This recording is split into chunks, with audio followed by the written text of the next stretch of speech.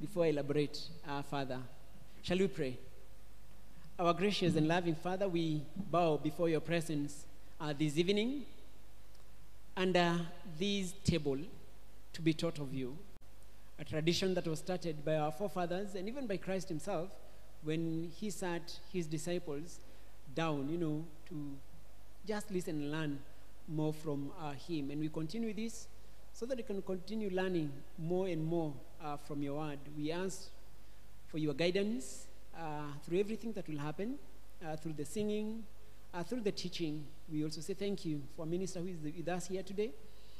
As we uh, engage through the topic of the day, we ask that, Lord, we may uh, live here more enlightened and, above all, having a reason to glorify even more as we get to understand you and understand marriage from a covenantal perspective.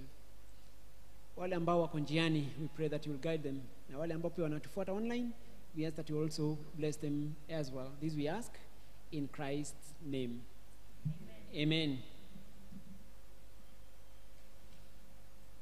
Um, yes, like I was saying, we have been doing the book of Ephesians, and we are stuck in Ephesians 5 verses 3. It's not that we we are in a hurry kumaliza ama tumeshindwa kutoka hapo, but there is a lot for us to learn from that uh, specific portion. We looked at sexual purity last week, and of course, we looked at the definition of sex. Um, that is the gender. And uh, today we'll be looking at marriage because looking at that nini na cover a lot. So the covenant issue.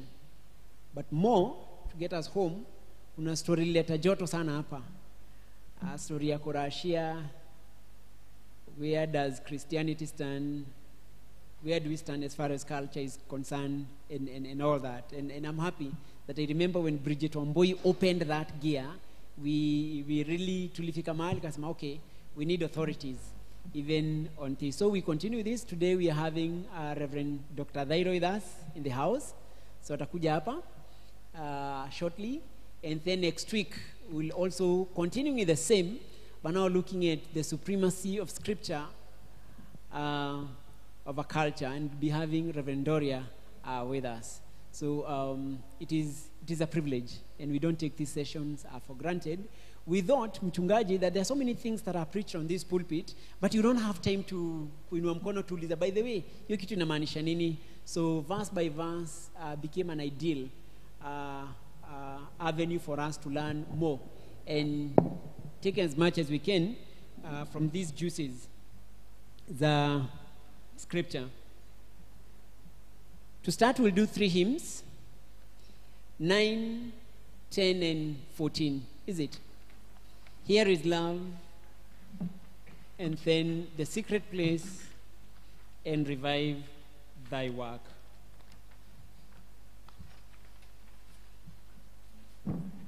So kwa wale ambao wanatufuata online, if you can share that document somewhere ya, ya hymns so that mtu anaweza anaweza ifuata. His love vast as the ocean, loving kindness as the flood. When the Prince of Life our ransom shed for us his precious blood, who his love will not remember, who can cease to sing his praise.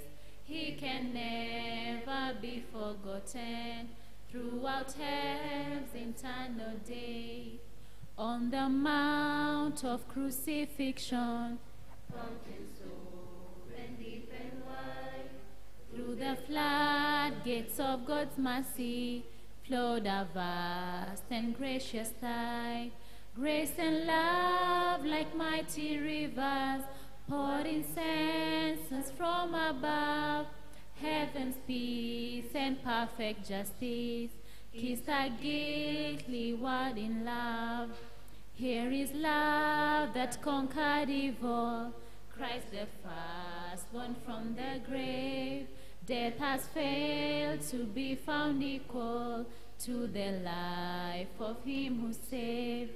In the valley of our darkness, dawn his everlasting light. Perfect love in glorious radiance has repelled death's hellish night. That same love beyond all measure, mocked and slain by hateful men, lives and reigns in resurrection and can never die again. Here is love for all the ages, radiant Son of heaven he stands, calling home his father's children, holding forth his wanted hands. Here is love as stars the heaven, countless as the stars above are the soul that he has ransomed, precious daughters, treasured sons. We are called to feast forever on a love beyond our time. Glorious Father, Son, and Spirit, now with man are intertwined. The secret place. Who dwells with he, mhm, who dwells within his most secret place is never far from his blessed grace. Neath his great shadow, all will be well. No better place now for us to dwell. The secret place of God Most High, the shadow of Almighty King, the dwelling place where angels cry, is where our praise will forever ring. Fear not the terror that comes at night, no flaming arrows by morning light. His truth is always a sword and shield against his power. of foes must yield. The secret place of God Most High, the shadow of Almighty King, the dwelling place where angels cry, is where our praise will forever ring. A thousand fall now at every side. Ten thousand more may have yet to die. Yet plague and sword can ne'er kill the soul.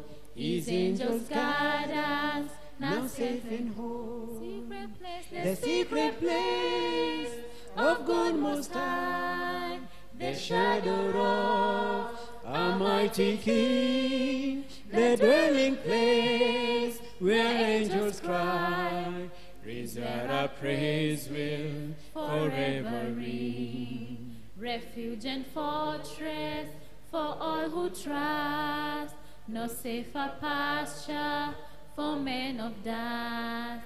Neath wings and feathers of Holy Lord, no greater comfort can He afford. The secret place of God Most High, the shadow of Almighty King, the dwelling place where angels cry, is where our praise will forever ring. Revive thy work. 14. Revive thy work, O Lord, thy might see and make bare. Speak with a voice that wakes the dead and make thy people hear. Revive thy work, O Lord, while here to thee we bow, descend, descend, O gracious Lord, descend. O come and bless us now.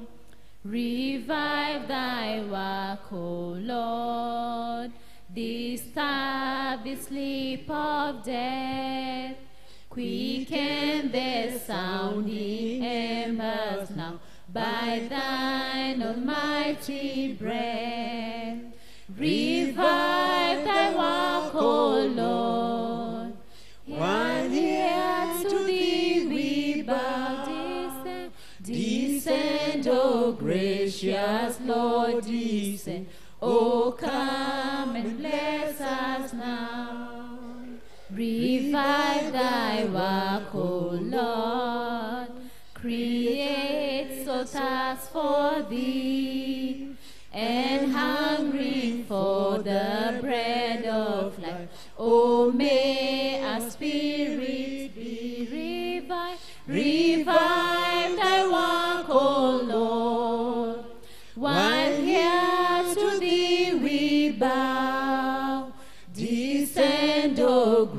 gracious Lord, descend. Oh, come and bless us now. Revive thy work, O Lord. Exalt thy precious name. And by the Holy Ghost our love for thee and thine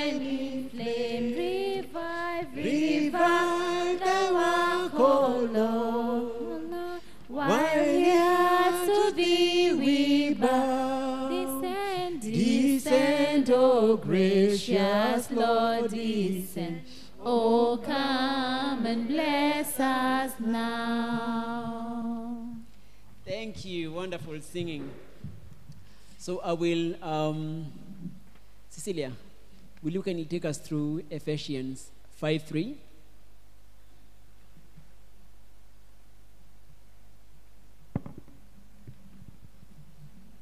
Ephesians 5 3. But sexual immorality and all impunity or covetousness must not even be named among you, as is proper among saints. Yes, someone may wonder uh, where is this coming from? But um, that verse is very weighty, very, very weighty, and there is a lot to be learned. You know, um, sex outside marriage, and you know, when you talk about outside marriage, you'll need to understand what marriage is. Eh? And uh, I think that is where the conversation spark. We need to understand now where does marriage, uh, you know, begin. Someone asked, nikirashia can I si nimebarikiwa tunaweza anza life together and I think these are some of the questions that um, you know pulled our leg so that we may have um, uh, an authority uh, on this and I am so so happy again to uh, welcome to us uh, Reverend Thairo. Rev anatufuata pia online Rev PK and he's already given you the official welcome. So mimi tu nikukaribisha hapa so that uh, we continue. Karibu sana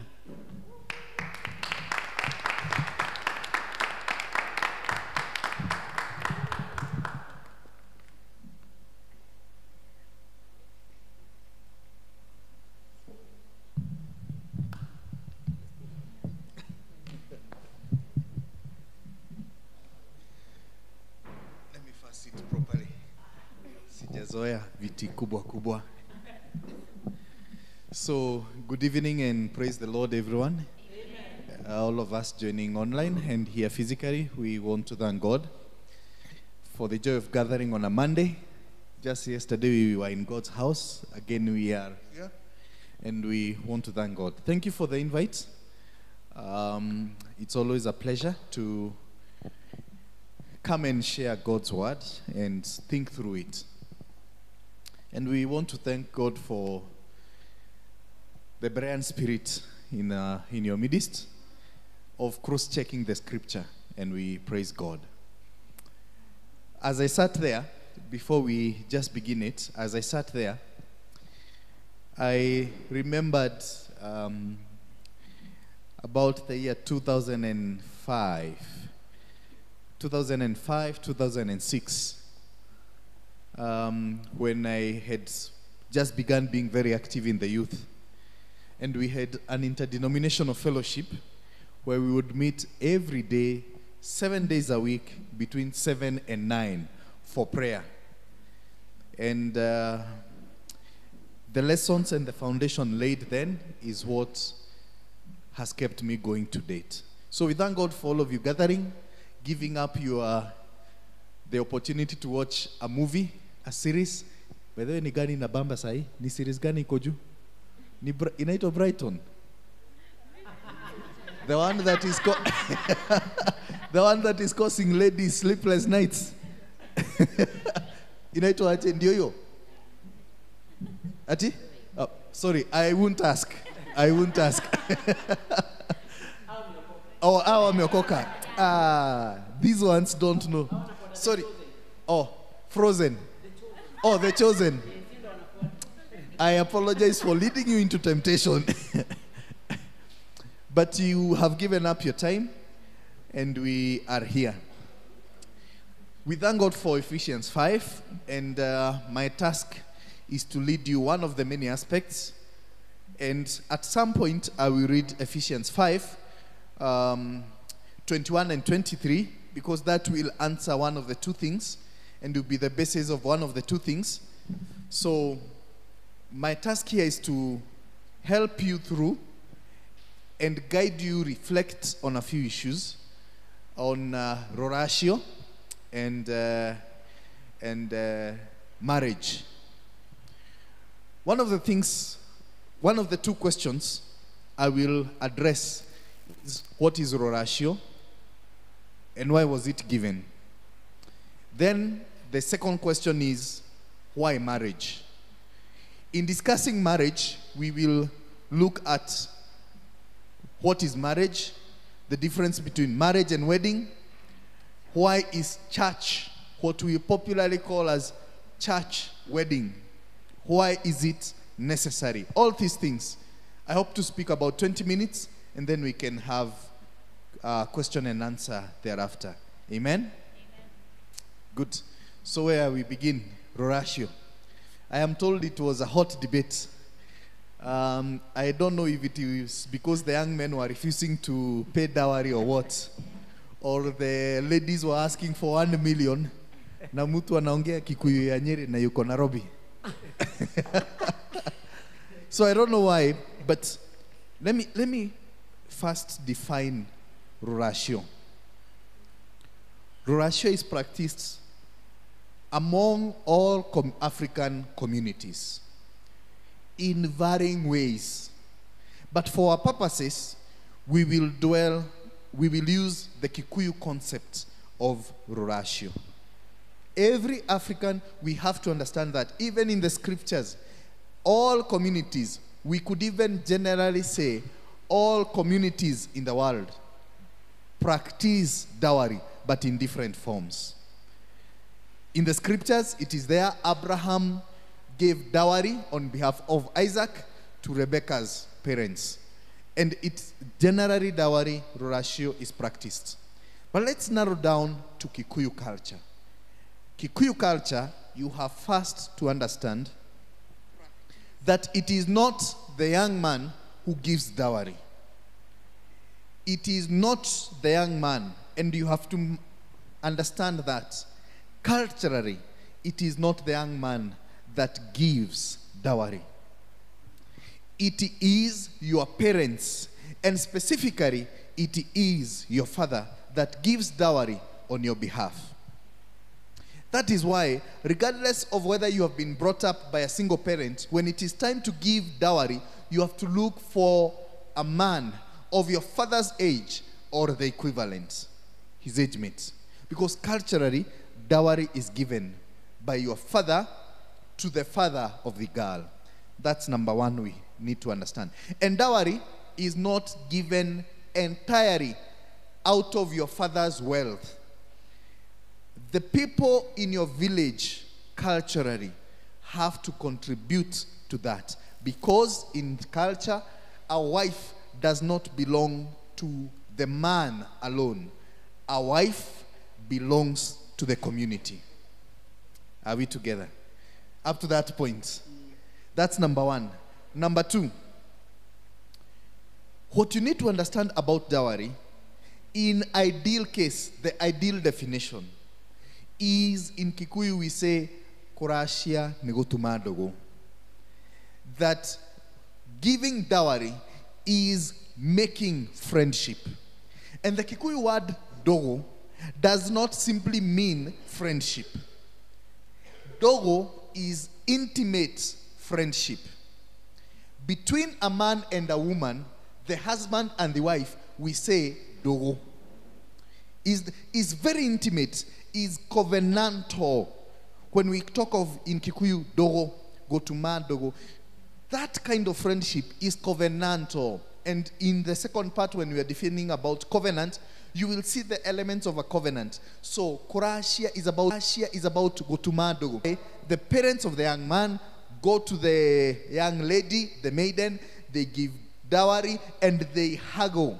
Uh, wanna bargain. Asha, we will give this, we will not give. The idea is not the back and forth, is not a sale. The idea is friendship, intimate friendship. In earlier days, before the father of the man, young man, agreed to take dowry, he would send out spies. They would spend, send out spies, spy on that family. Do they have a lineage of quote, quote, your goat alone? It is everyone coming together, bringing. Um, if you have capacity to give dowry alone, you are considered proud. Watu wa Nairobi especially, you are considered proud because dowry is a communal thing. So, what is the extent? You see, while it is, while the, the attachment are goats, ideally it should simply be a gift to the girl's parents. But you have to take into account that in modern times it has been commercialized, which is the wrong thing. No wonder girls are getting married na akifika kwa bana yake he is treated like property because during the dowry negotiation, the negotiation she was treated as such. Ideally, in our culture, no young man should be declined to marry a girl simply on the basis of dowry. In cases where the young man is not able to raise dowry, two things can be done. Either muiretu, you're given on loan and then you will come, or or you are told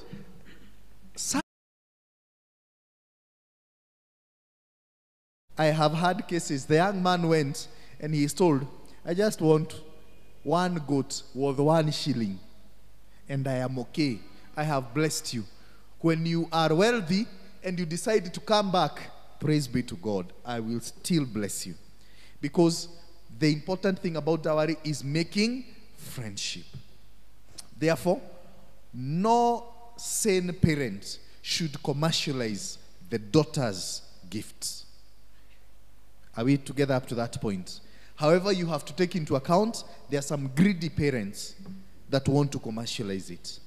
There are also some greedy men these days that are bringing so many complications. A lot of complications in the cultural revival. Wazee chama, watadai, burishi ya a lot of nonsense they are bringing. You have to take into consideration that.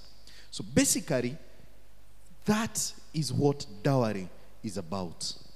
Now, the other question I, I was told is now, after you have given dowry, Mwate na harika, Mwate is, is a virgin, Mwate is, uh, I think he's a virgin girl, she goat. Um, harika is the virgin, virgin he goat. Uh, Kikuyu dowry, after you've given Mwate na harika, then you have considered to have Rashiad, and then different different families have different practices but generally that is the way it is so question is after you have korashiad can you now go with a girl and marry? Yes and no. Yes you can go with the marry and she becomes in actual sense she's your wife already. But yes can you go with her and live with her as your wife? Yes if you're not a christian. If you are a vagabond out there in the world, you are, the deal is good as done. But if you are a Christian, then you have to move to the next, which is a Christian marriage. Or what we popularly call church wedding. and I'll differentiate in a short while. So I think with that information, I, I think I've given basic information about ratio, and then questions to fill in can be later, right? Now, question on marriage. Question on marriage. Let's first differentiate. Let's first ask if you don't marry in church, does it mean that you're not married? Eh? If you don't do a church wedding, does it mean that you're not married? Are you married? Eh? You're married. You're married. Yes. So why is church wedding necessary? Ama lazima ukuje ututese na neti na makeki na madhuiti. so why is it necessary? Let me def- there is what we call wedding. There is what we call marriage. People often confuse the two. Wedding and marriage. The church insists on marriage. The church does not insist on wedding.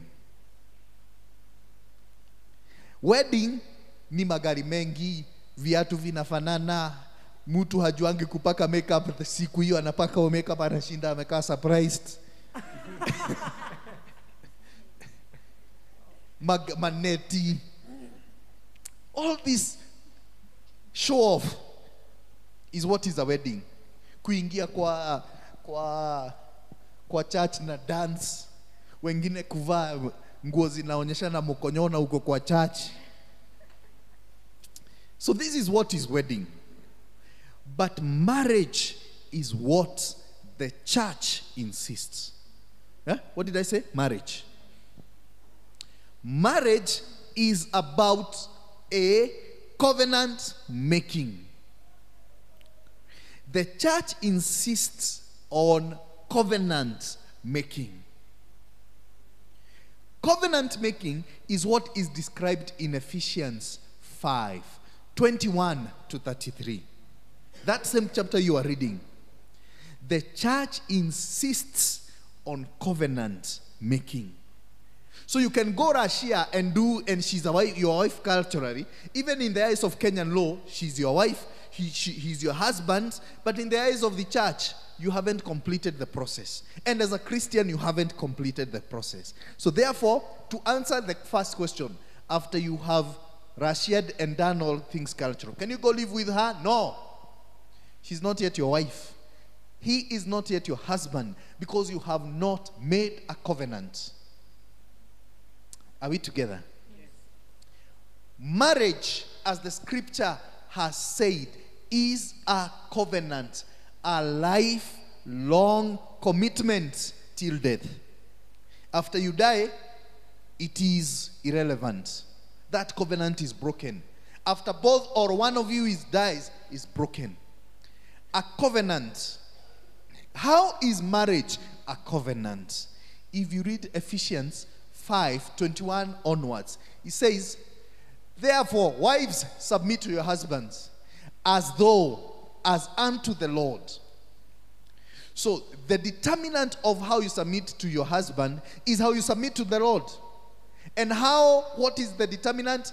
How Christ, verse 22 also says, Husbands, love your wives as Christ loved the church. And he gave himself up. That's the key. Christ gave himself up for the church so that the church can be cleansed and be blameless. Look at the connection, and I am, um, I am paraphrasing that portion. Look at the relationship. The relationship between the husband and the wife is through the Lord, in the sense, just as Christ submitted himself, loved the church, loved the church, and he gave himself up. The question is, what is the relationship between Christ and the church?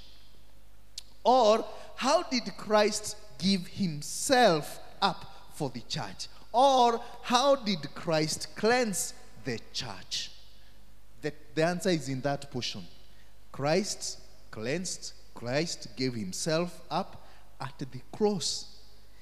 And what did he do at the cross? He died for the church, shed blood. And what happened at the cross? A new covenant was ushered. So, what is the relationship between Christ and the church? It is a covenantal relationship. Are we together? Up to that portion. So, just as the relationship between church and Christ, so is the relationship between a man, a husband, and a wife. And how is that relationship made? Through a covenant making process. Now, you will ask, How will I know a covenant? Or you will ask, the people who just stopped at the cultural thi- thing, Ruracio, and married, are they not in covenant? Yes, they are not. Because there are five or six characteristics of a covenant. Five or six. Sometimes we join two, but I will explain them as they are. Can we all say altar? Can we all say altar? The people on the online, we can't hear you say altar. Can you say vows? Can you say seal? Can you say witnesses? Can you say guarantors? Can you say sign? Okay? Ati, ati sign nini? Ushaanza kujaza. She's saying the sign is this. Can you say, please, madam, she's saying the sign. Are you from Nyeri? She's, I thought it was a tongue twister. She's saying the sign is. Kevin, Ken, say she's saying the sign. Oh. Oh, ni Mkamba. Are you, are you Mtishi? You're from Nyeri? Wewe ni mtu wa Tao? Try it, we hear. She's saying the sign. Ah, okay. Oh, kuna client. oh, I'm a volunteer. She's saying the sign. Eh? She's saying the sign. She's saying the sign. Umejaribu. Oh, ni Charles. she said the sign. So we are saying the characteristics or the signs or the marks of a covenant are five. How do you make a covenant? If you look at the scriptures, these five or six things are there. Let me explain. Altar. And and and and as people of faith, we have to know what altar is. Because tumeingiwa na kasheshe ingine, mahubiri mengine yanahubiriwa. Show me the altar in this church. We are in church. we are in the old church. Where is the altar? Where is it? Eh? Oh, the cross is the altar. But physically, I know, I know now. Ati where? Ati huku ndio madhabahu. Let me tell you. Three definitions. One is the cross. The cross is the ultimate altar. Number two, altar is any place you designate as a meeting point between you and God. Altar is number three. Altar is any place you offer sacrifice. That's why in the, our tradition as Presbyterians, when we buy new land, we don't dedicate here in front. We set aside the whole place. So whether you're outside or inside, where you are seated at the pew or at the front, this place is called the the front. Yeah? And this table is called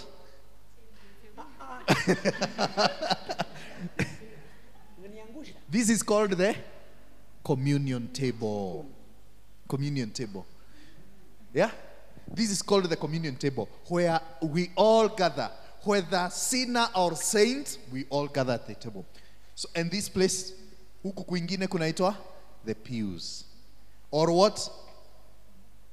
The pews. So the pews and the front. Not Pius, the young man, but Pius. P E W.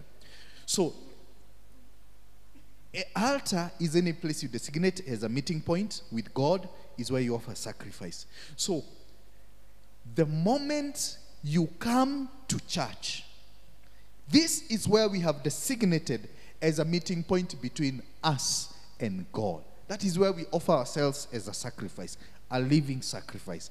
So if you look at the Old Testament, even the New Testament, any place there was covenant making, for example, Genesis 15, God invites Abraham to renew the covenant. The first thing Abraham does is raise an altar. So the first mark of a covenant is an altar. For us, the altar is the cross or the church itself, the church compound. That's one. Two, vows. The second mark of an covenant is vows, where you pledge to do something and another person pledges to do in return. Anytime you in the scripture you will see god uh, there is a covenant making process. God would make a vow and then demand the other person to do certain things. For example he would tell abraham i will make you a father of nations. And what did, does abraham have to do? Just believe that he will be a father of nation and walk in righteousness. So vows within the marriage setup there are vows of de- till death do us part Number three, witnesses. Witnesses are the people who are present when you are taking those vows. The people, the minister, the best couple, your parents, the congregation, those are the witnesses. In the scriptures, for example, Joshua 24, even stones can be witnesses to a covenant. Joshua tells the people of uh, the people of Israel, the leaders of Israel, gathered in Joshua 24. We know verse 15. But if you read downwards, Joshua tells the people, even if you break this covenant and fail to renew it, these stones are witnesses. So every covenant making process has to have a witness. When the covenant is made, after that, the people who are witnesses become guarantors. That is why when we see you enter into a marriage na ianze kuleta kasheshe, tunaanza kuingilia. Mazee ni nini mbaya? Kwa nini mnaletana juu? What is happening? Why? We were witnesses. Therefore, after the covenant, we become guarantors. Number five. Number what? Are we at number what now? Five. Number five is sign. Sign. Usually, the sign for marriage, usually we have summarized to be with the ring, but also the children that come forth, but also the properties you accumulate, but also the sign of the covenant between God and Abraham was circumcision. The sign between man and a woman, generally we consider to be the ring. That doesn't mean if there's no ring, then you don't have the sign. No. The children living together, same house, same car, sign. Then finally, the seal. And let me tell you, young men, this is the most, one of the most critical things seal. A seal in a covenant making process is the bodily fluid, contact of bodily fluid. Any covenant in the scriptures, whether between two people or between God and a person, there had to be a bodily fluid. For example, during Abraham's time, Abraham had to slaughter and the blood flows. Our covenant at the cross, if Jesus Christ did not shed blood, that wouldn't be a covenant. So the blood becomes the seal of the covenant. In the context of marriage, you have to look at 1 Corinthians 11. Paul tells the people of Corinth, just before he instructs about Holy Communion, he tells them, anyone who sleeps with a prostitute, he becomes of the same body as that prostitute. In other words, during that exchange, during that sexual. Ah, wote mko na ID, so I can talk some of these things. Mko na kip, mko na meno dhate tu. Kama umeng'orewa, you are not an adult. Eh? Oh, o wenye wameng'oa because an adult has how many teeth? That tu kama umeng'oa are you still an adult? Anyhow so the seal in the context of marriage is the exchange of bodily fluid. That's why even under the kenyan law a marriage is considered a marriage after consummation. That is contact of bodily fluid. And in this case there was sexual activity between the two so, seal in the context of a marriage is when there is exchange of bodily fluid. That is what seals the covenant. So, the marks of a covenant are six altar, vows, witness, guarantors, sign, and seal. What makes Christian or marriage necessary is that process of covenant making. Someone will ask, siniende tu kwa AG. Yeah, AG is contract. In church is covenant. Lawyers in the house will tell me, ah, but Pasi, there's no difference between contract and covenant and promise. They are the same thing. Yes, for you as an advocate of the High Court. But for me as a minister of word, order, and sacrament, and as the scripture has taught, the difference is as heaven and hell. Very different. Besides what I've already mentioned, a contract, you enter into a contract because you don't trust the other person. Unaona kama atakuruka. So munaandikiana.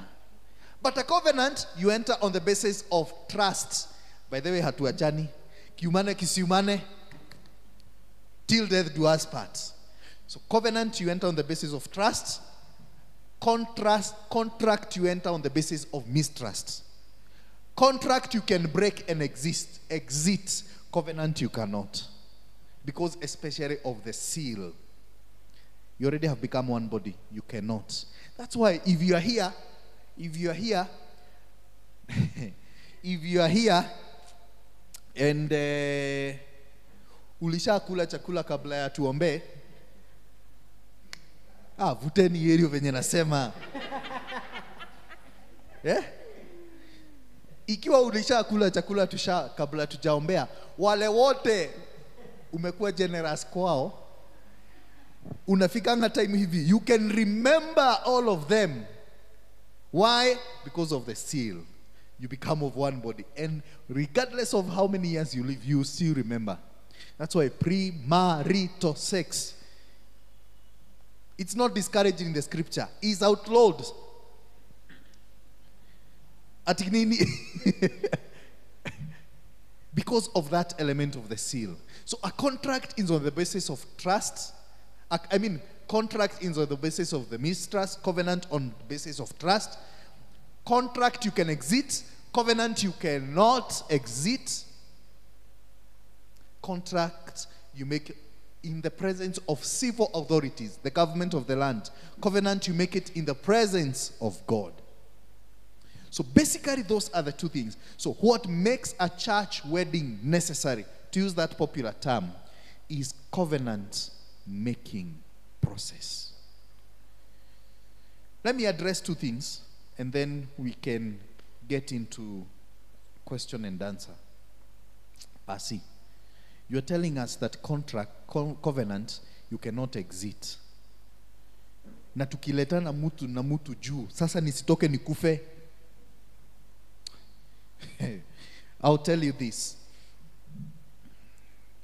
Those of us, I am married, this is my ninth year, and I divorce my wife every morning, but remarry her in the evening. And you know why? Because humanly speaking, and because I am sinful, every day I am selfish. And I demand from her more than I give her. In the same way, she as well demands, because she is also selfish and sinful just as I am, she demands from me more than I give, more than she gives me. When you see people and marriages break, is because we do not die to ourselves and die in the Lord. Look at ex- Ephesians chapter 5. Both of them are told, submit unto the Lord. Wives, submit yourself to your husbands as unto the Lord. Husbands, love your wives as Christ loved the church. So if both of you died into the Lord and the Lord, I can tell you, when you have the temptation to go away, then before you go away, she goes to the Lord, you go to the Lord, you meet at the feet of the cross, you are brought back. So, here is the thing, the point I am making. When you see one lady called Stormie Omartian has written many books, but the one I have read is The Power of a Praying Wife. And I read it because I saw my wife read. So I wanted to know what power has she got? So I read The Power of a Praying Wife. so one of the things she has said, when you see a couple fight and they cannot be reconciled, either one of them or both of them, their hearts are hard towards God. Let me restate. When you see a couple fight to the extent of breaking up, either both of them or one of them, their hearts are hard towards God. So if both of you have a healthy relationship with God, there's a likelihood, a very like high likelihood that you will survive regardless. Let no one cheat you that marriage. Actually, the other day we were talking with my wife and we came to an agreement that after living together for nine years and 13 years as friends, fighting each other now is very romantic. Is one of the most is the one of the most romantic things. Fighting. It's not a devil. It is just a reflection of our human of our humanity. So I think with that is sufficient, and probably any gaps I have left, we can fill in. And think, Paul, we can open up for questions. Sure. Yes. Um, thank you very much. I, I did ask guys to have questions flowing uh, kwa groups. So I think you are too captivating that uh, people will not concentrate on their phones as well. But even as we, one, thank you so, so much for um, the marks of the covenant. Um, very key. Sinipoa? E, na yule mwenye alikuwa anasema this is a tabernacle at least ame ame- ameielewa vizuri no questions za rashomali tulianzia zinapokuja someone did ask um, now that we are presbyterians and we are talking about weddings is it ideal to do a garden wedding No. Yes. You see, garden weddings are not evil. There are some things we do as Christians, not because a garden wedding is not evil, is not sin. But two things. uh, By the way, the church has not outlawed them. But two things about garden weddings almost always they are show off. Ni watu wameenda kutesa watu waonyeshe mahali wamefika kipesa. That's number one. Number two, you are baptized in church. You are confirmed during Holy Communion in church. You will be buried by the church. Wakati wa harusi, when you are making a covenant with a stranger, you go out in the garden. Doesn't make sense. Why have you denied that glory? And you see, brethren, wedding, one of the beautiful things about wedding is the reflection of God and how He works. You see, especially in Ephesians, the marriage between a man and a woman, that marriage is a reflection of the relationship Christ has with the church. Halafu naenda huko kwa manyasi na unaweka tumaua kidogo tukutufunga macho ati garden weddings are not sin. Please get that. But as a matter of faith and tradition, doesn't make sense to go to the garden. You have made your vows all through. Niulize, when that marriage italeta shida, mtaenda kwa garden kuomba? Or will you come to church? so where you be going for help, go and start there. yes someone is like what Yeah. Yes, and They I, had planned for that. Yes. It's okay. You will not fail to get into heaven. hapo Rev umekosa wateja, umekosa maclient wa garden wedding, I don't celebrate garden weddings personally. and so am I. I do Yeah. not celebrate them. So Yeah. uh, everything is permissible, but not everything. Anyway, you're playing that context, but uh, for me as well now. Uh, kuna msee mwenye miaka hiyo ni akauliza what I, I loved the stunning no now someone asked should i continue staying even in that marriage when i'm being abused uh, when the man is violent or the, the, the other party is violent or when the person is unfaithful so maybe you can talk about um, the first one, abuse and violence, because unfaithfulness, Christ said that you can divorce because of that. But what about these other? Yeah, let me.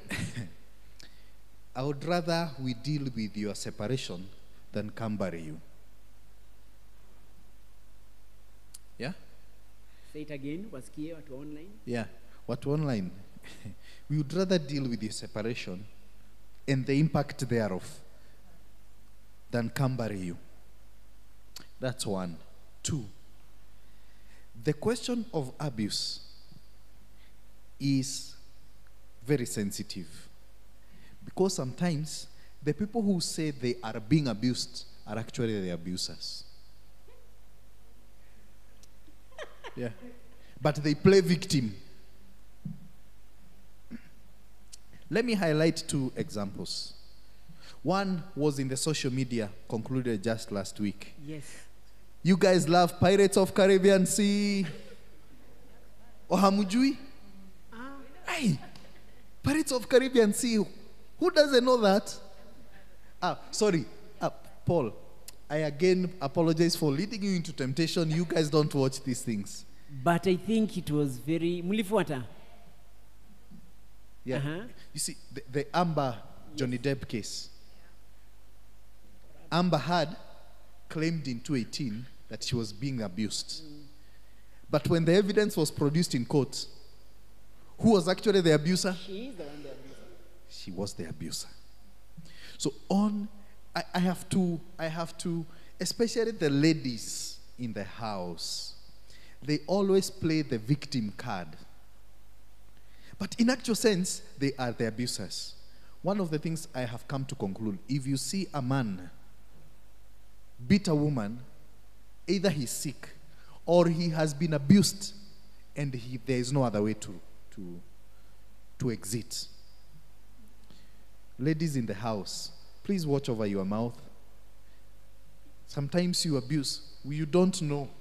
And a person whom you love, their words cut deep. For example, if any of you came here and told me, by the way, your hair is running away, your hair is going to be with the Lord. eh? Ati that what? See? That means, ah, I see your hair is going to be with the Lord. By the way, I will laugh about it. But my wife tells me, Kai modo. Jewelry. By the way, I will even start questioning myself and even asking, have I written my will? Anyway, ameona nimeanza nimekaribia kukufa. She told me about the hair. See, words told by your loved ones, they may be very violent. People you love. So, then the long and short of that I wanted to say is, is this. We would rather deal with your separation than come to bury you or take you to rehab or a psychiatric hospital. Please seek peace. Are we together? That's number one. Two, on the case of unfaithfulness. We are living in a world where being faithful is foolishness. But let me tell you, do not be faithful, men in the house. Do not be faithful to your fiancés and your wives because she is faithful. Because hata yeye anaweza kulisha kwa wenyewe. Women, ladies in the house, do not be faithful to your fiancé or your husband because he's faithful to you. Be faithful only because of one thing because of your faith in God. Think about this. Has God ever been unfaithful to you? No. That way, even if your husband or your wife is unfaithful, you will still be faithful. Not because of him, but because of the relationship you have with God. Are we, uh, uh, are we on the same page? That's number one. Number two, young men in the house. I can tell you, having dealt with a few men, every man feels guilty after being unfaithful to their wife. They feel guilty about it. And they will always ask, Why did I do it? I don't know about ladies, but the men who have opened up tell me, After I did that, I felt unfaithful.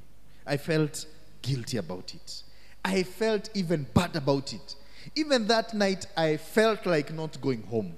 I actually went straight into the shower, washed to just see if that guilt would go away. What drives men to unfaithfulness? And please, young men in the house, hear me out. It may help you. The sexuality of a man is driven by their hormones. Test, test, inaitwa test, testosterone. And men in the house, um, now, there are no married men in the house except me. All of you are unmarried, and I am assuming you do not have this experience. Hamujakula chakula, bado mumengoja tuombee chakula ndio mkule. Amen. Why are you looking at me with side side eye? As if I'm saying the wrong thing. You see, a man's sexuality is driven by testosterone. So anytime it accumulates, they look for a release.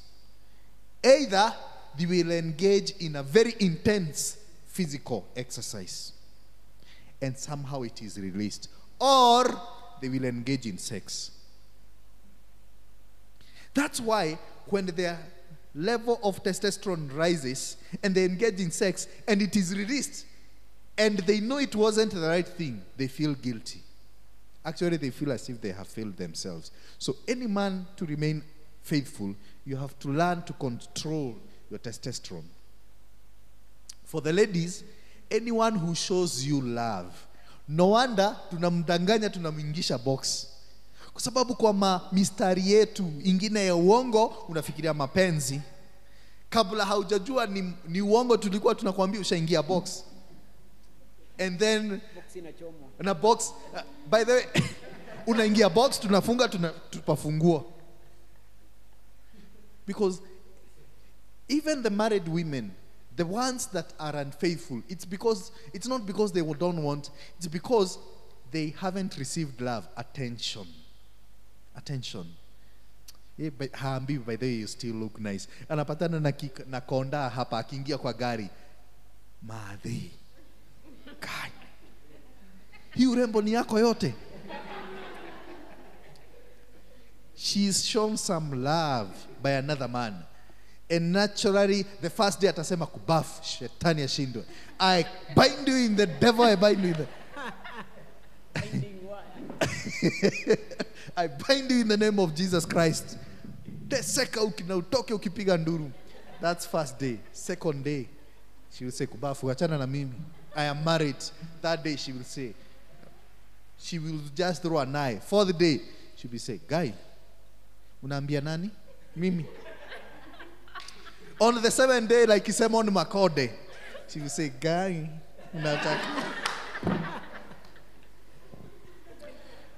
And that's the same, these ladies who are here, the guy you fell for, na labda hata ulimulikula chakula kabla hatujaongea. What happened? Wasn't, was it not because they showed you some love? Mapenzi motomoto. Yeah. And then after that he said, wasn't me. So, so, so, so unfaithfulness for the ladies is caused by love. They want attention. They want to be seen. They want to be owned. For the young men, testosterone. Yeah. That's why a man, as soon after the sex hapa, amalize na wewe, atembee tembee, testosterone builds again, apate mwingine amwingishe box. Yeah. You're saying, aye. Yeah, that's the way it is. So, for men to be faithful, you have to learn to control your testosterone. Right? Thank you. Any other? Now, before you take any other question from online, do we have questions from? Okay, Kimani, someone can pass him the mic.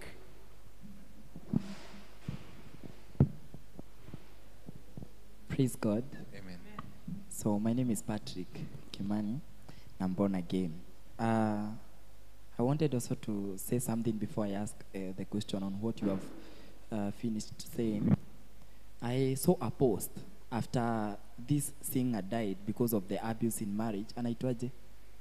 Eh, Huyu ameiba sijui na Reke Lemo. Huh? Oh, Is, oh, is this, it that song? this lady from Nigeria. Yeah. Yeah. So a pastor had posted online akasema um, that there is a difference between separation and divorce. Yes. And he, sa- he proposed that mm, separation would be better in times of uh, when there are challenges na hamsikizani. It is better to move out, separate, and not divorce because of the basis that is given on the, uh, in the Bible about divorce.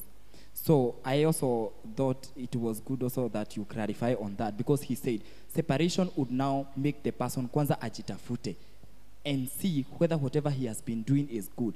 So he was like saying separation would be fine if you feel you are being abused in a marriage, go first. It's not about divorce, go first and then you'll come back after maybe the man cools down. Now my question, I don't know whether you write somewhere or I just ask them in line Okay. because I want to ask from the point of dowry. Okay. When we were talking about dowry, we were talking about kusamehewa dowry. And whereby you can go to the family of the lady, and then either the man tells you, you know what, uh, this is what you had. So he receives it, and aseme, uh, I bless you with it. Is it good, or is it something that is supported in our culture? Because some of us said uh, it's not good, unapewa kwa nini, you know. You will clarify on that. Do I continue or you will answer that? Yeah, ask, ask. I continue. So another thing, at the what instance or circumstances can a guy feel that they won't be able to pay the dowry? For example, we have, uh, I have heard a case, I have listened to some stories out there. Uh, there is a guy who went out after the negotiation about the dowry went so tough on him. Akaenda kuchukua simu akaenda akiedanga. And you know, is it, is it good or should it come that way or which is the best way to say mimi nimeshidwa na hiyo dawari mmesema i will not be able Okay, let me first answer three. I am good at grasping three things. So number one is is separation and divorce. They are that is really legal. The difference is legal. So I will not go that way because um, I'm legally incapacitated. Um, but to the best of my knowledge, separation is where you take some time off.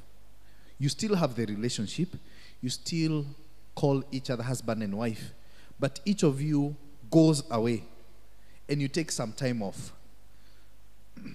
Um, you take some time off. I was trying to remember a song that explains that. There's a song, I can't remember. Um, usually, when I need to remember the song, it runs away. So, separation is where you take some time off. Physically, you're not present in the same location. Or probably you would be in the same house, but using different rooms. That's separation. And usually, when it, the pressure becomes too much, people will opt to separate. Sometimes separation leads to reconciliation, and sometimes it can lead to divorce.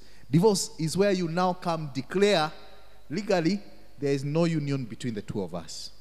We are finished. Kaput. You go your way, you divide the properties, children custody, you take this, you take that. I am under no obligation. There is no relationship with you whatsoever. Divorce. So those that, that's the difference between the two. In the case of um, um, where there is pressure in the marriage, this is what I encourage. Um, not separation, really, but take time out. Take time out. You see, pressure is not necessarily because of your wife or your husband. Sometimes pressure is external.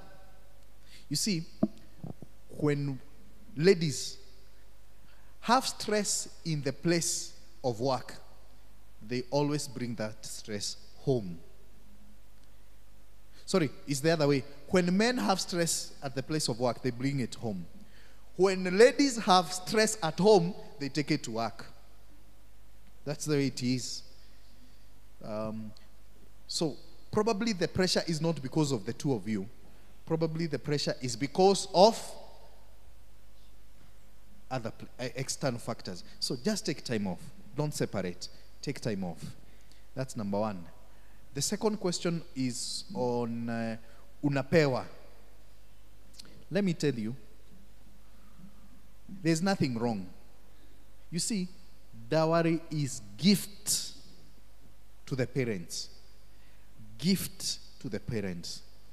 Of course, these days I have had bring a tank because the one who was carrying fetching water for us in the river will no longer be fetching. So bring all that nonsense.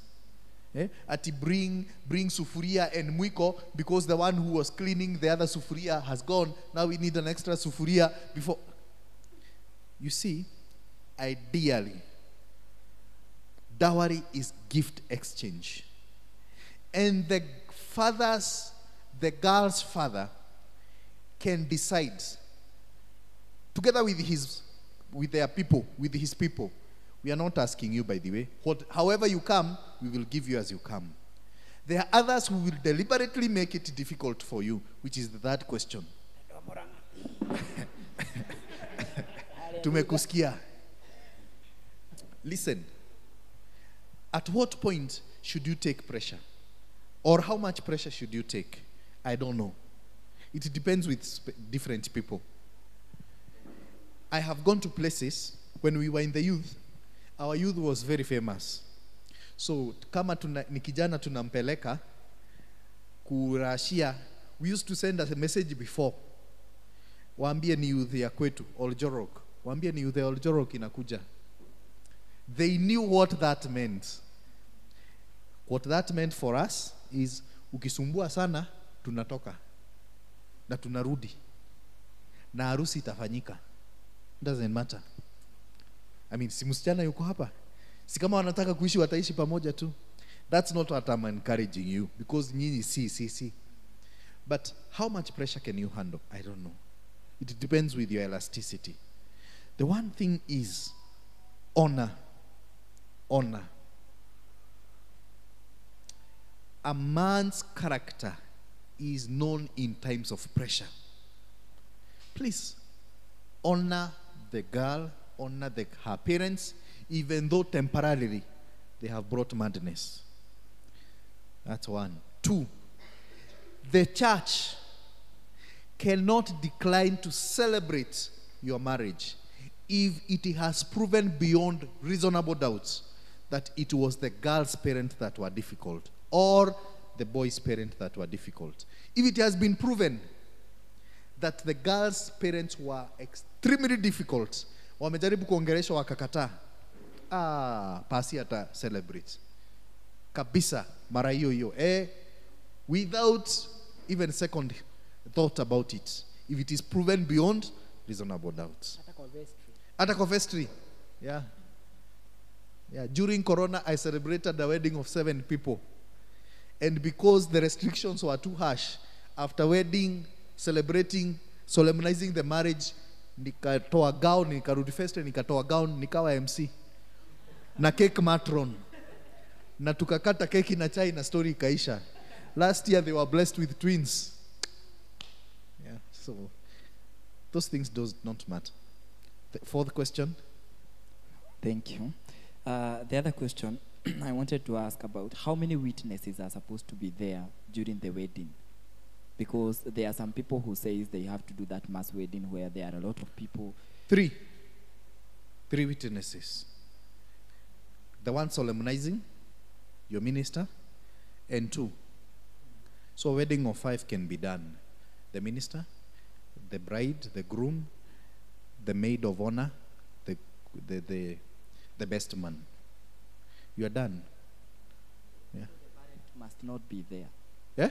The parent must not be there. sio lazima wazazi wawe yeah.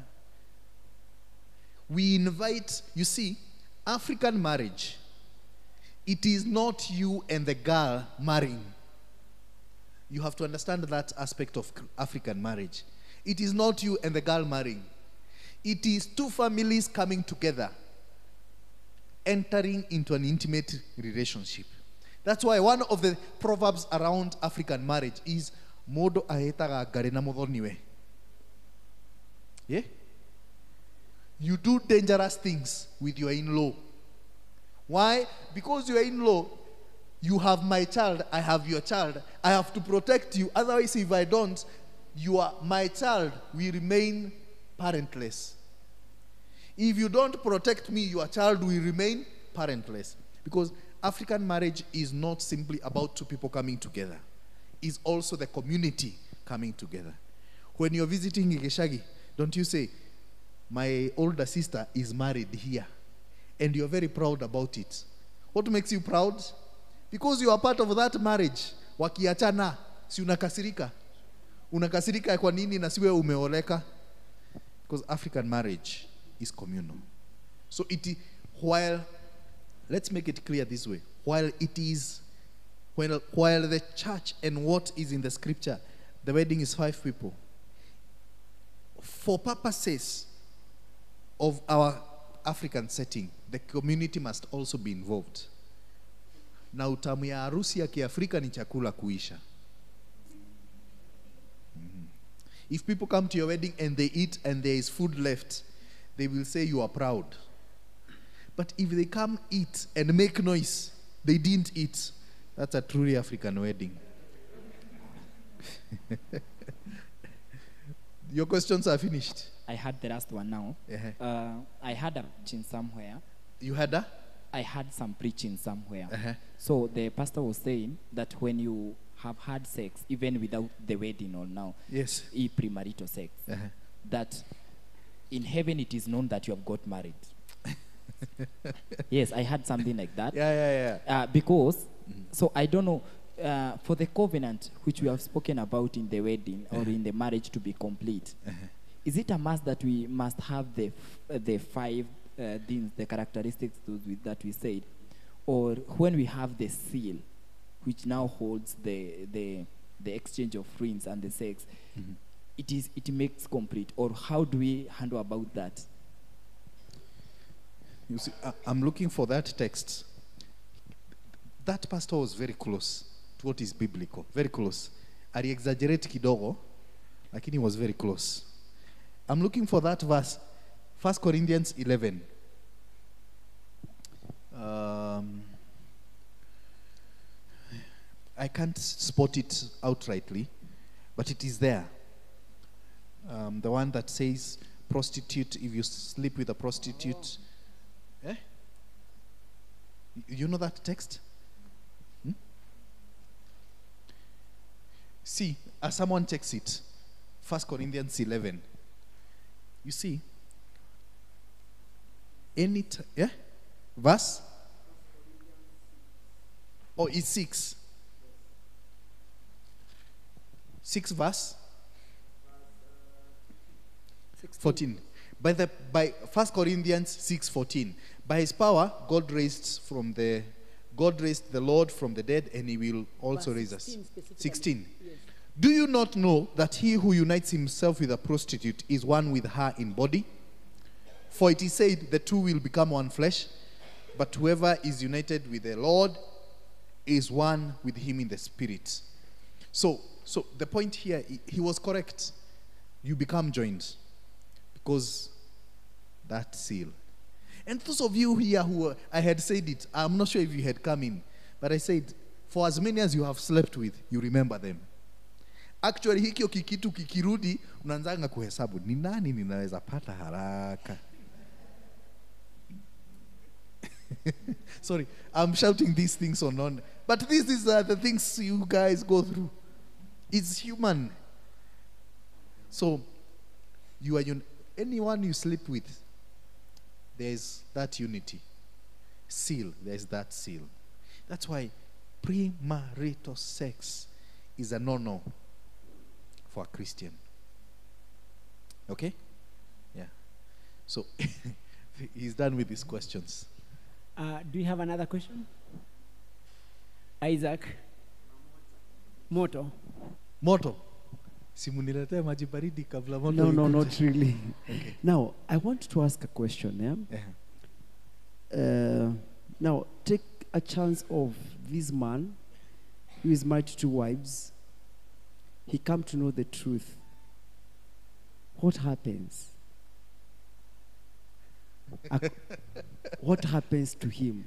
Yeah. And the other thing is uh, some of the some of very heartbreaking news we have ever had, even from our villages. Sometimes you see a very Christian, a sober Christian, uh, very well soberly born again, and because of that inclinations to Christian, uh, maybe he feel that you know culture is too much on him. Uh, but now after a, a- a- and you know he feel like you know this culture is so bounding me and sometimes he failed to honor some of those things. That now we see the effects that come from failing to honor that cultures they kind of they affect his family.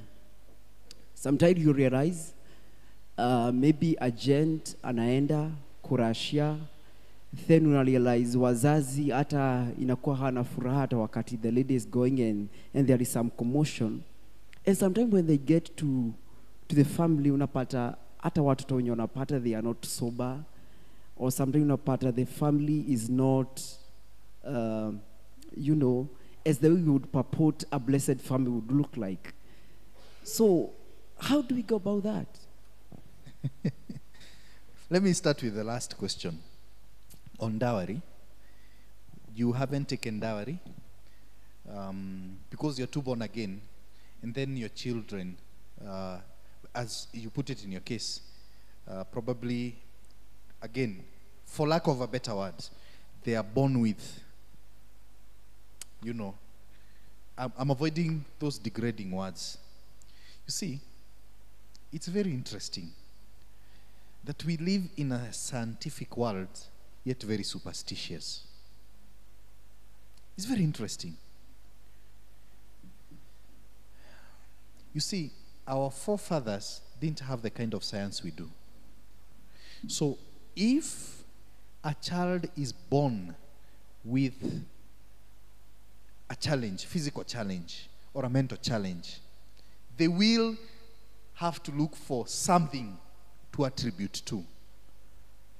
So mo- almost always they will say, one, dowry. They will check dowry. If dowry is okay, they will check ancestors. If they will, if their ancestors are okay, the medicine man says the ancestors are okay. They will check unconfessed sin. They will look for it because dowry is naturally we are superstitious. Even as Christians, after even being born again, those of you, if you scratch your heart, your, your palm like that, what's that? Besha, money. Na mumeokoka. You see, superstitious. You see, the, the connection between dowry and a dysfunctional family or children with a challenge is a way of dealing with pain that science has not been able to fix yet. So when children are born with challenges and people don't know what, how to deal with, how do we con- comfort ourselves and bring ourselves to term? We use culture and superstition. Actually, in modern days, we are calling it virewa gomi. Have you guys heard that? For example, they are saying, Dirawa Gomi, Gomi are spirits. Gomi is the plural of Goma. You see, proper Kikuyu, proper Kikuyu, Satan we call, in, in modern Kikuyu, we call Satan Goma. But proper Kikuyu, Goma is one spirit. So when there are many, Gomi. They are saying these days, girls, the ladies, umefika 35 hujaolewa umejaribu biashara ati ni kwa sababu uko na gadhire ka gomi you haven't you, it is the spirits the ancestral spirits are preventing you to get married because there is somewhere you owe them something. Or a wife is married to a wife is married and she's promiscuous. They will say it is because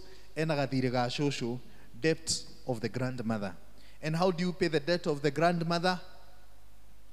Ohete money that's kikuyu koheta money and what is money by the way in kikuyu Eh, type of cattle ng'ombe no way no way no way Money?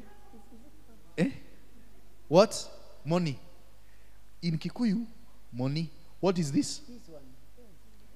The, the. Eh? No. Yeah. You see, Goto is even in the inside. The inside. But this part is called oh, monia Goto. Money. What's this? This flappy part of the eye? Some people will call it kemone. Some people will call it money. Money in Kikuyu is any protruding flappy part of your body. Eh? It's protruding and it's flappy.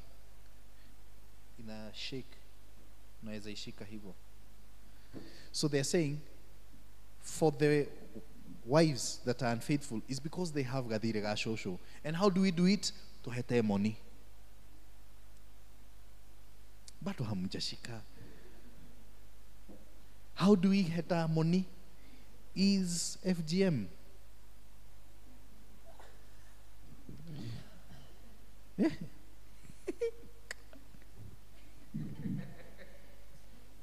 so, so by by that blood, when that money is being headward, that blood is shed and is is absorbed by the soil. It is believed you have paid the debt of your grandmother and you will not be unfaithful to your husband. That's why in some of the communities, uh, counties, Nyandarua, Muranga, Nyeri, men are taking their wives for circumcision in the hope that they will slow down. So, so, so where did that question come from? So, the question of, but science has now shown us, science has shown us that these deformities are either genetic or some kind of deficiency or some kind of accident. So they are no longer about superstition. Okay? Yeah. I know that gospel has been propagated. That's number one. However, number two, I have seen cases of a man who received dowry and wasn't supposed to receive. He received it unscrupulously. Is that how you say that word? Aliingisha ujanja, akapeleka watu hivo. You see, dowry is a gift to parents. If you receive it and you're not supposed to receive it, then I have seen people suffer consequence. Just because, and this is not the children, the parents. If you, you see, this is something pure.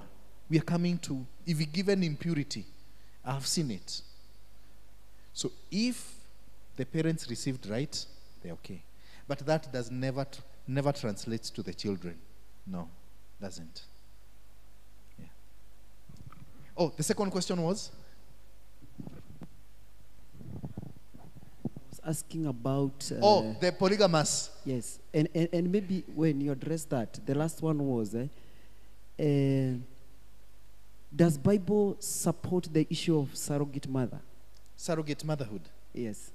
Okay, you raised two questions. Why come, how come the church insists on, uh, on monogamy? Is it biblical? Monogamy. Is it biblical? We had a hot debate here Is it biblical? on, on, on the same. Is it? It is. So if you are polygamous, you have sinned. With what? Yeah. Yeah. No, no, just before you get to that, is it a sin if you are polygamous? Is it a sin as in the scripture? And you is it wrong for a Christian to be polygamous? To my view, Uh-huh, no, uh-huh. of which I do not support uh, f- uh, being polygamous. Yeah. But for you to be able to give your best to To one. to one. So yours is purely economic not and not romance.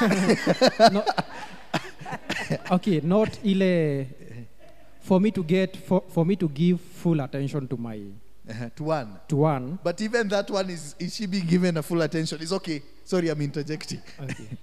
You see, what's the biblical basis for monogamy? In actual sense, in the Bible, you have Abraham. Was he monogamous? No. No. No, Abraham wasn't. He had Hagar as a sidekick. Oh, ni sidekick ama ni side chick? Ama ni side dish? Ama ni mpango wa kando? Eh? We had Jacob with two wives. Jacob, Israel, the father of nation. Solomon, we have him. We have David, the man after God's own heart. I mean, all the great men we know in the scriptures were polygamous, right? So why should the church insist ati uh, kwani wewe ni jogoo gani ya mwera moja? Ati iko labda za huku Jogoo Road.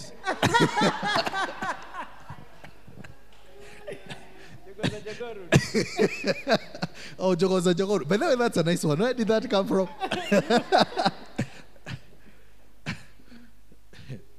you see,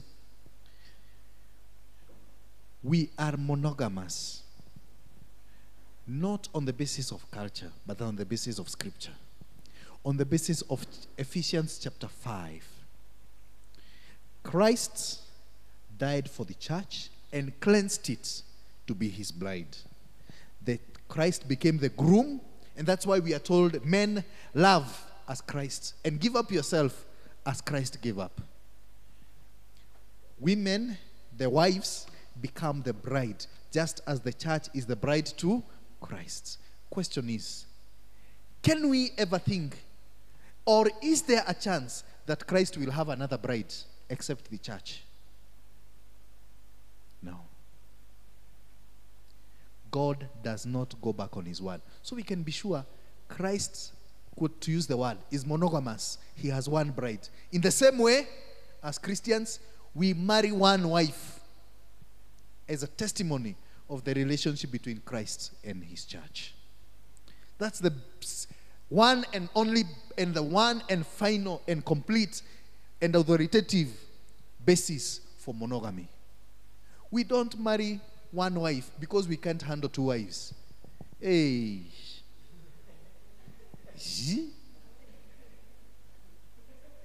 Tukiletana na huyu tunaenda kwa huyu. Ji? Ningetaka kuwa na Habib kwa nyumba na Fatma. eh? Na Wanjiro na nitafute muluya moja ndio nikiona miguu spoti nakumbuka Michelin. But that's not the basis. The flesh tells me that. But faith, my marriage must be a reflection of the relationship between me and Christ, or Christ and the church. So that's it. Now, to, straight to your question a man did not know Christ, comes to Christ, and he has two wives. What does he do? He has to retain the two wives, not leaving one and not choosing one for the other. He did not know Christ.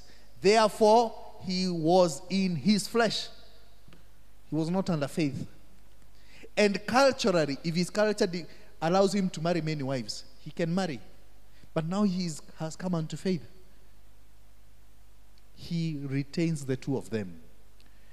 A non a believer who doesn't take care of his family. Before faith, that was his family. A believer who doesn't take care of his family is worse than an unbeliever. So he can't choose either. That's A. B. But in church tradition, in our church tradition, what do we do in such case? If it is truly proved that he married even the wives themselves before they came to faith, if that is proved beyond reasonable doubt, all of them are accepted to faith, but they cannot hold certain leadership positions as may be determined by the session of that particular parish. Right? Yes. You okay? All right. Last question. Please shoot Okay, it. On that, eh, Eh, on that, wanaweza fanya harusi. gai Mwadhani. I have had one case in the 1990s, but I haven't seen a recent case. I can't remember. I was too young, but I don't think they will do a wedding. Because a Christian marriage is monogamous, strictly monogamous. And you see, by the way, if you don't do a wedding, a, a church marriage, I mean, if you don't do marriage, doesn't mean you will not get into heaven. You will still get to heaven. But marriage is entered too as a testimony of the relationship Christ has with the church. All right? Uh, there was last question nilikuwa nimeuliza Eh. does bible support surrogate mothers Oh, surrogate motherhood. Ethics. I, I'm framing that context. A couple has tried having children, they haven't. For whatever reason. They either go for IVF, inaitwa intravitreal fertilization, something like that, IVF, you know IVF, or surrogate motherhood. The husband, the, the seed is harvested, the wife's egg is harvested, it is implanted on another- mother. In the scriptures, there is nothing for or against. So that goes to the ethical question. That goes to um, that becomes an ethical question on the rightness or the wrongness. And I can tell you, we can never agree. We can never agree.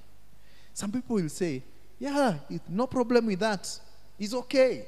They will even find biblical equivalents. Others will say, no, it's not okay. I remember one case when we were doing ethics that was presented to us. A couple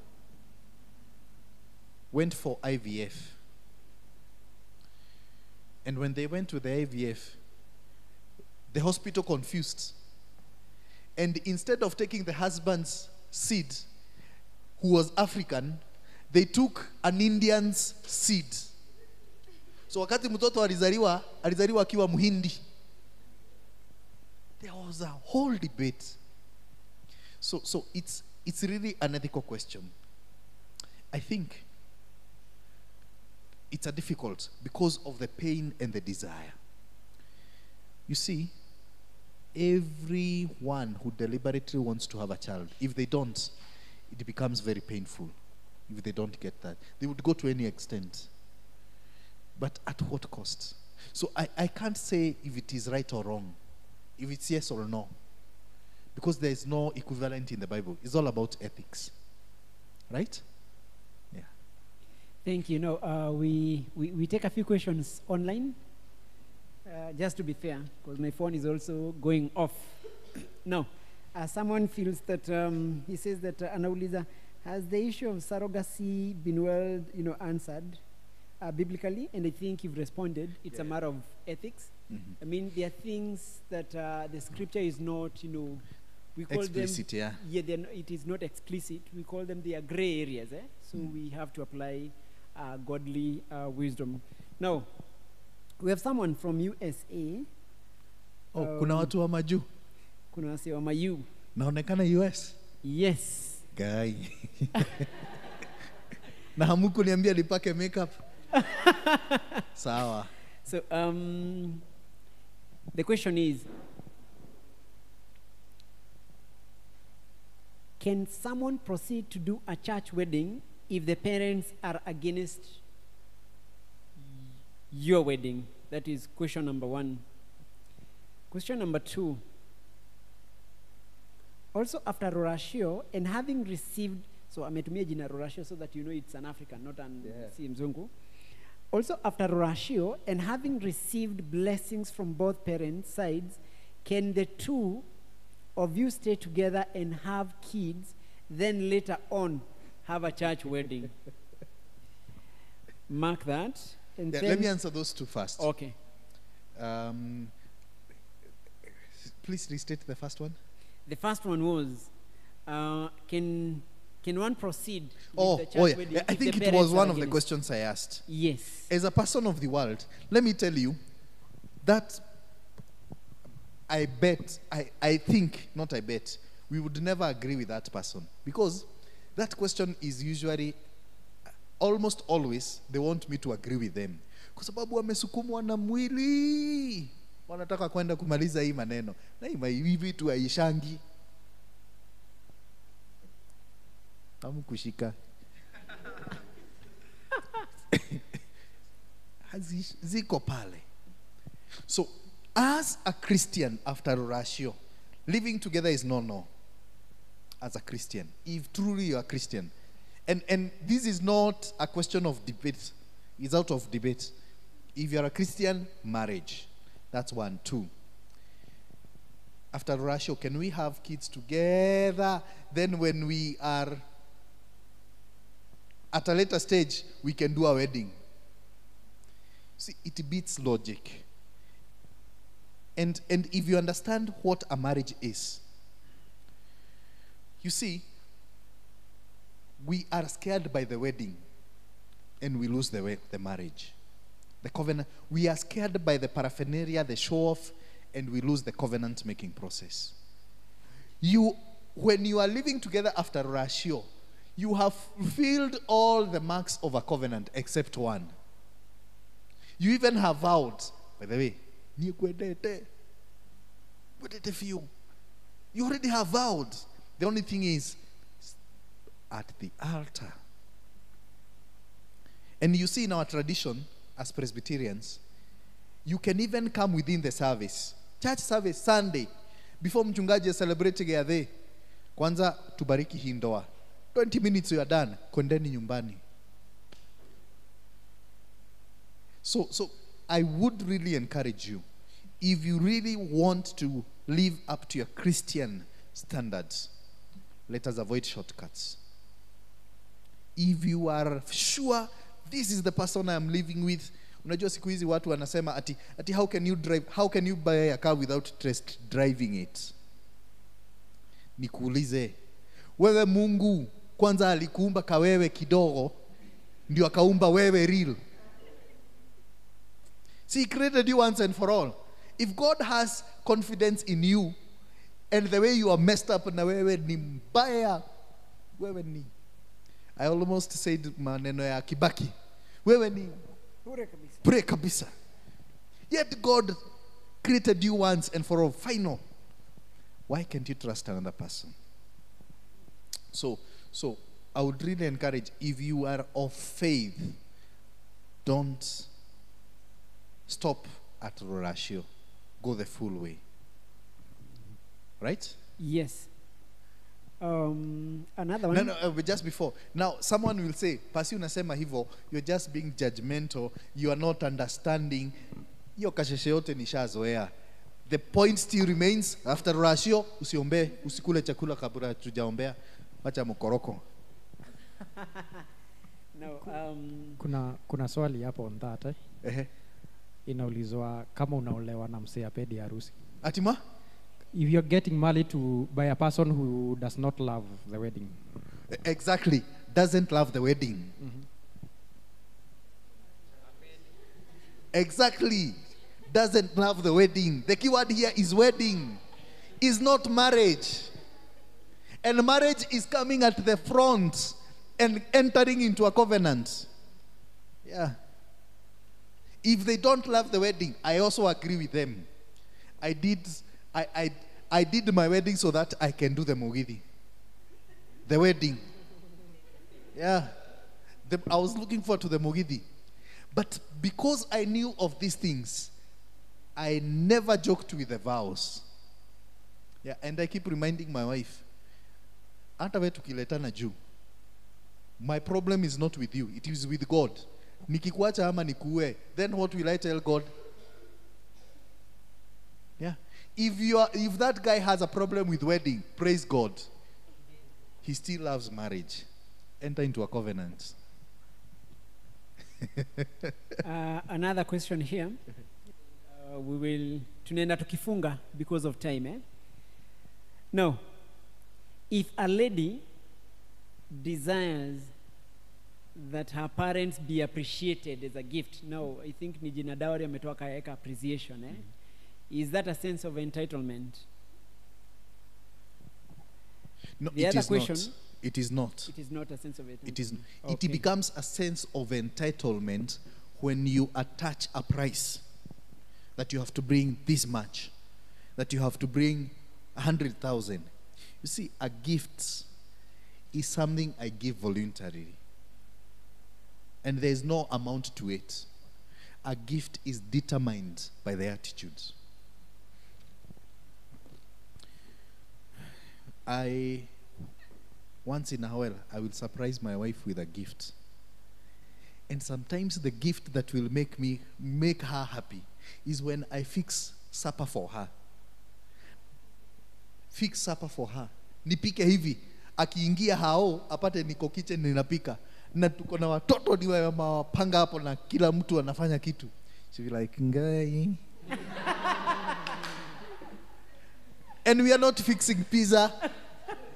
Ni githeri hapo na masukuma wiki na cabbage. Ninawekelea kwa kwa tabletop na kata mara mbili mara tatu naweka kwa chakula. She will eat smiling. Not because of the way i have cooked with recipe na nini but the attitude but then uh, so gift the determinant of the quality of the gift is not the size it's the attitude so it's not bad Okay, so Yeah. it just but the lady has insist. So when Don't they insist. Please it's come. no longer is um, when you insist is no longer a a gift, gift. is an entitlement yeah Aya, nataka watu online and then nipeane hapa mbili we close it eh? okay If a man and a woman are not virgins and they come forth and confess, is the wife allowed to wear the white gown or what happens? we Moto. Kama You see- pasi ya Eastlands. eh, ati kama pasi ya Eastlands pasi za huku ni moto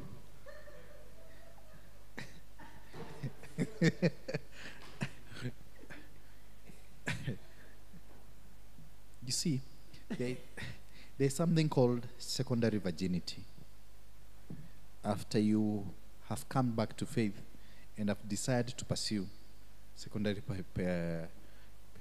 virginity virginity is synon- or is symbolic of purity. So you may not have the original, but you have cultivated purity thereafter. All right? So ideally, white gown should be symbolic of that purity. But these days, it is used as the standard. I mean, it's the fa- it's white gown is fashion. It's no longer about symbolism. It's fashion. So that if you came to church with a brown gown, we will think this one is her first girl boyfriend is Satan. This is the physical one. But brethren, let's get this. The gown is symbolic of purity.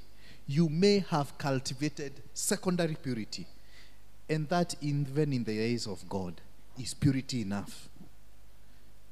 Are we together? Am I making sense? Is purity enough? So, if they have confessed to each other and worked on themselves and their relationship with Christ, then the white gown is very meaningful. And let me tell you, this one wasn't there. is an uh, uh, is is is is a story I love giving. In our first year, eh, I, I, I, think only Paul has seen my wife. Who has seen my wife? Oh, you? Ah, yeah, yeah. My wife is Mali Safi. Mali Safi kabisa. Eh, ni Mali Safi by the way. Tunatembeaga naye tao tao anaanza kuchokozwa. And I'm like, by the way, you're doing a nice thing. You still you are affirming I saw Mali Safi. So in our first year, she was uh, an auditor. So she was promoted in that year, senior auditor. So she's leading teams. And one May, she's sent to Kapenguria for three days. So she comes in the evening, she tells me, tomorrow morning, nimetuma Kapenguria. Um, nimetuma Kapenguria. And we are leaving at 4 a.m. in the morning. Please, utanisindikisha. I tell her, that's okay. That's okay. Nitakusindikisha. So in the morning, she packs. I escort her to the stage. Tunangoja gari. Gari kukuja. Ikafika. Nikauliza, nikafungua mlango akaingia. Nikaangalia ndani. Yule yuko ndani ni driver peke yake. And I knew their driver. He was called Wasike. Wasike is from Western. I see Wasike na yuko peke yake. So I ask her, kwani hamko mnaenda na mtu mwingine? Kaniambia no, this was only me going. 4 a.m. na ni Wasike na mnaenda Kapenguria. Three days. so they leave. I call at 2, 2 pm in the afternoon. Simu ni mteja. I call in the evening. Simu ni mteja. Wameenda Kapenguria na Wasike.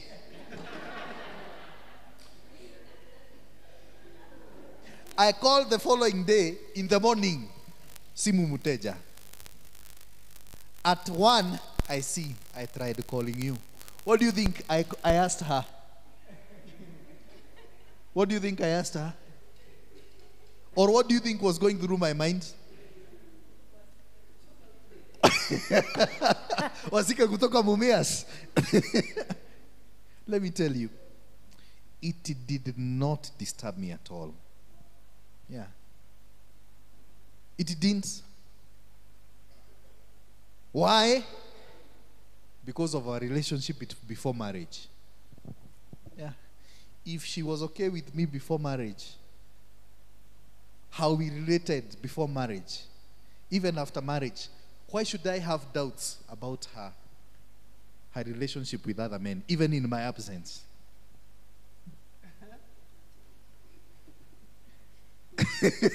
Look at this one. You are doubting. Why should I? We treat other people, we judge other people based on our own self, based on our experiences. Yeah. Yeah. Vile unaniangalia ina determine the way I judge your look is determined by my own thoughts of how I am looking at you. So if the way we related my wife and she was still an auditor, she was still Malisafi. Why should I doubt her even now? Hata sasa akienda guild wiki mzima waende Mombasa. I am okay. So please ask. So young men and women here. No wonder nyinyi muko hapa. And at one time you had two boyfriends. Yeah? The current boyfriend you have, do you think ukimwangalia hivi unaonanga kama yuko faithful? Unafikirianga vile wewe ulikuwa unafanya hata yeye ndio anafanya nini? Yeah. Paul. So now we have only last question. Okay? Nilikuwa nimesikia pale. On the floor. Ulikuwa na swali lingine? Okay. Ama imeshajibiwa? Okay, mine was kwa hiyo dawari Kwa? dawali Yes. Venye we had said it's a gift, uh, probably that cannot be equated. What about to the places where you go and in inahesabiwa you have to bring A, B, C, D? It is equated to a certain amount of money. Yeah, because you see, these are negotiations, and culturally, there are certain things you have to give, and you have to give a value. So it is calculated. Um, Ah, mwate, harika. In other places wanaongeza mburi yaku magaria mwate na harika. In other places wanaongeza njohi ya njũrio. Then unahesabiwa mirongo. Sasa hapa kwa mirongo, mirongo is the amount of goats.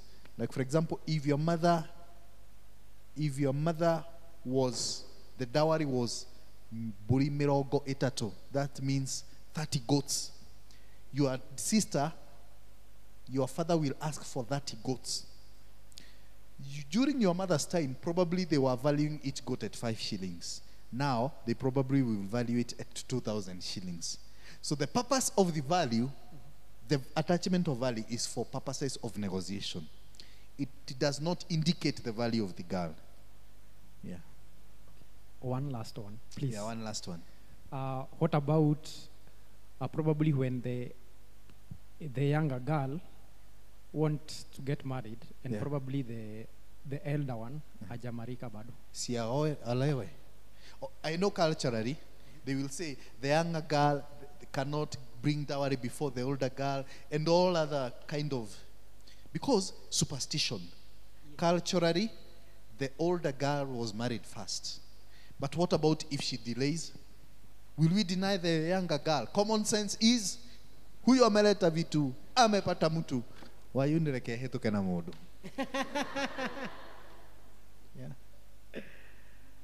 Now, um, I think that has been answered. I wanted to ask about uh, those superstitions where um, if you are getting, if you're marrying and your elderly brother or brothers or sisters have not yet gone through the process, uh, there are those demands that uh, lazima utoe hii mbuzi na hii na hii na hii so you've answered it Yeah.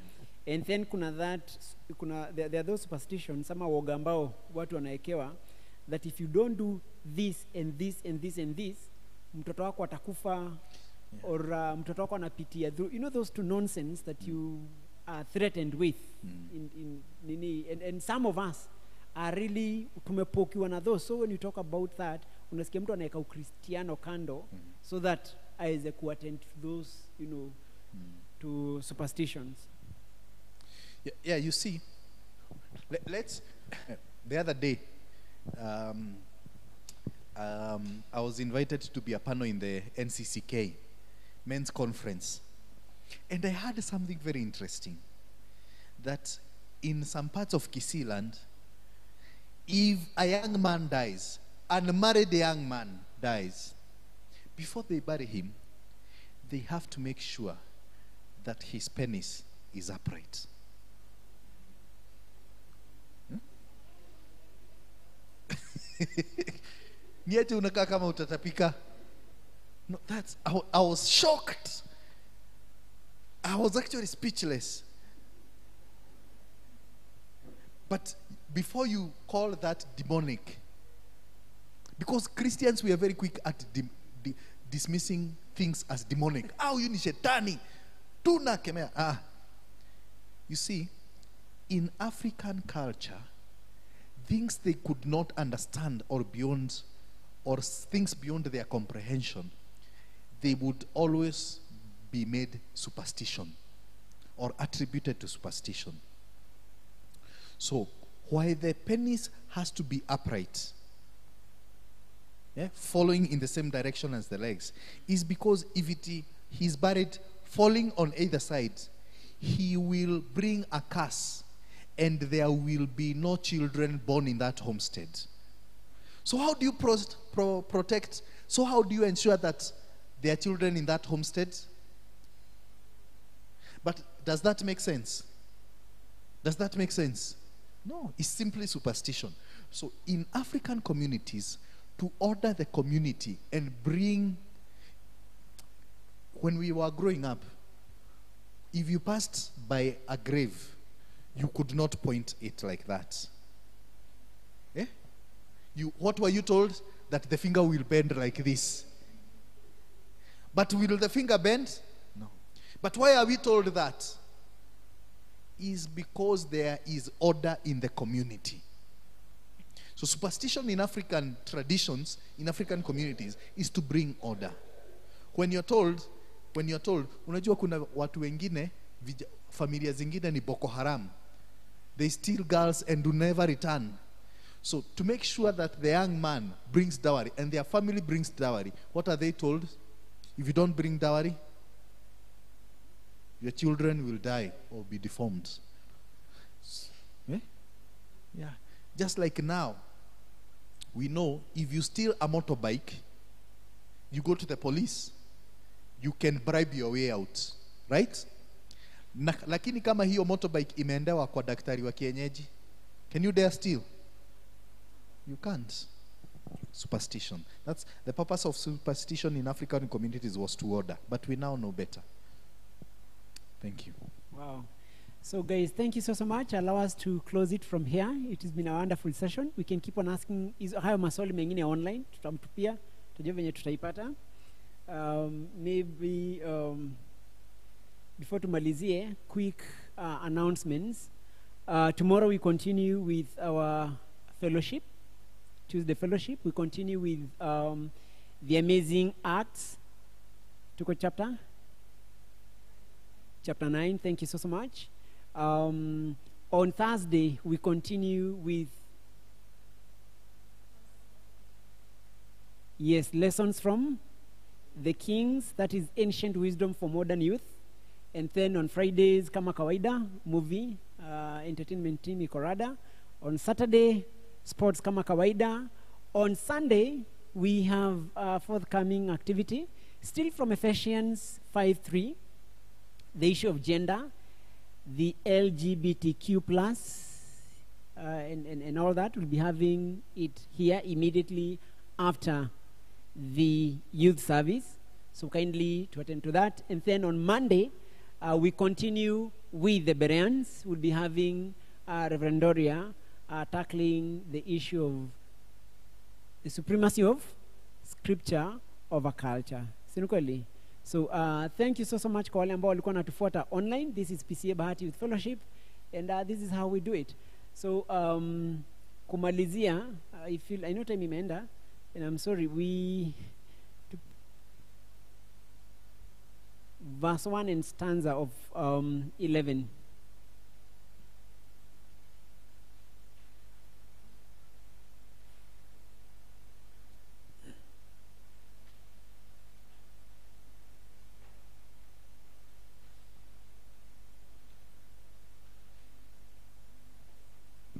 Yes, ya kwanza na chorus. I hope you, you not be tempted to go to Okay.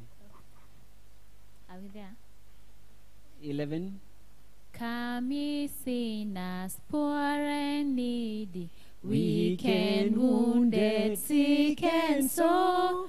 Jesus ready stands to save you, full of pity, love, and power. I will arise and go to Jesus. He will embrace me in his arms, in the arms of my dear Savior. Oh, there are ten thousand charms. So will arise. I will arise and go to Jesus. He will embrace me in his arms, in the arms of my dear Savior.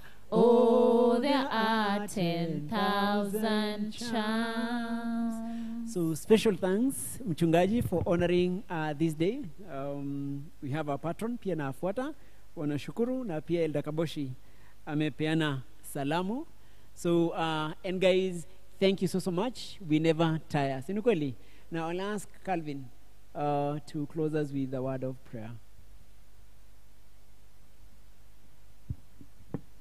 and then mchungaji atupatie itwaje?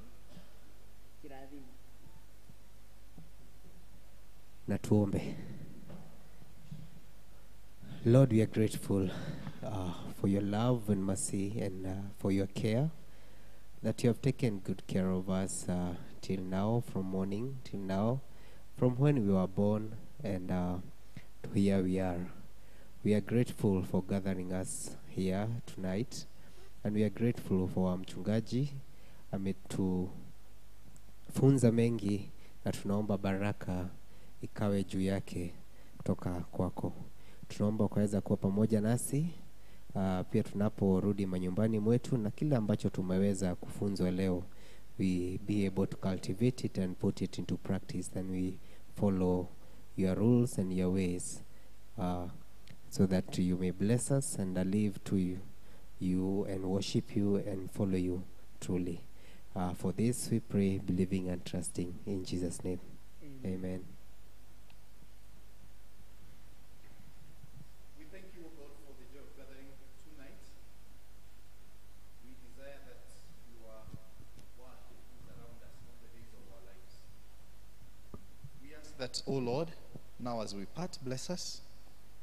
And for having spent time in your house, may we be blessed. May Psalm, the word you have proclaimed in Psalm 84, may we move from grace to grace. Therefore, Lord, we ask as we depart, bless us and renew us in you, and renew the love you had for us, even for the, the uh, at first. We may have fallen short of your glory many times, but your grace is new each and every morning. Therefore, Lord, love us again and teach us to live in your ways, we pray. And we pray this through Jesus Christ, our Lord and Savior. And now may the grace of our Lord Jesus Christ and the love of God and the fellowship of the Holy Spirit be with us now and forevermore. Amen. Amen. Thank you and God bless you. thank you